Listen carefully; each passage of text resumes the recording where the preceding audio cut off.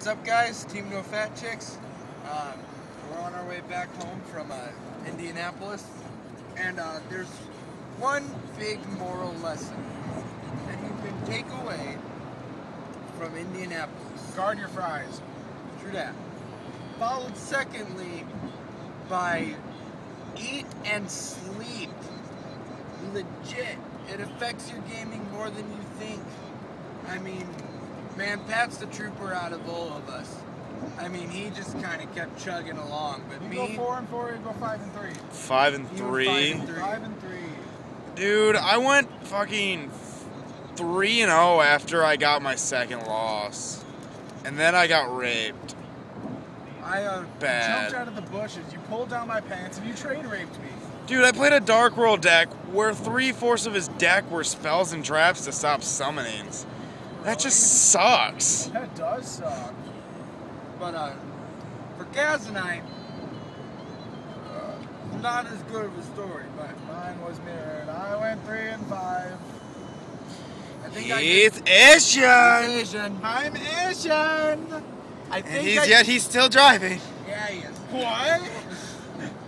I think I did about the same as his.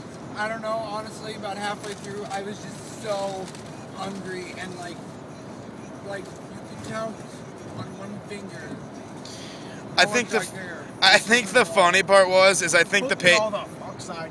I think the pagan gods wanted to rage quit on uh, Kaz and Buckley because during like the fifth round, like before the fifth round, we were like these two were. I don't think they had either like at one win maybe, and there's like, can we go home? It were it's like a five hour drive. Can we just go home? And I was like, no, I still got a shot at it. And they're like, all right, when you leave, when you finally lose again, you will leave. And I agreed to it. And I didn't end up losing until the final round. And it's just like, and the best part was, and I don't think that's the best part because I hated every second of it. I lost every dice roll. And I mean every dice roll. And from round three on, I lost every first duel and had to win the final two duels for match. It's not worth the trouble on an empty stomach. It's really not. Update on uh, Buckley Rage Quits on Indiana. I made a guy scoop. Uh, first duel, uh, I had him in a perfect place, and then I got Harold out, and he was like, "Yeah, okay, you win." So then I opened up the very next game, first turn, with a Harold Zen means a Gachi combo. Like I could not have asked for a better first hand, and it just went good from there. That was just one of my wins, and it was fan fucking fastic. But uh, I really wish we could have brought so many more people. it's true. Hopefully for the next one, which shoot probably won't be until after the new year. We'll tr- we're gonna try to go to the one in Chicago again. It's relatively closer, and if you want to hit us up, go ahead and do that. Yeah, seriously. Um, really good competition in Chicago. Last time I went there, there's a really uh, little, little bit agent heavy there in Chicago, but not too bad. Actually, pretty decent setups. They like Chicago seems to have a lot of creative decks, and I'm a, the one thing I don't want to see there, and I'm probably gonna I will rage quit on some kid if I see more than three Dino Rabbit decks. I will legitimately Ganon punch one of these children.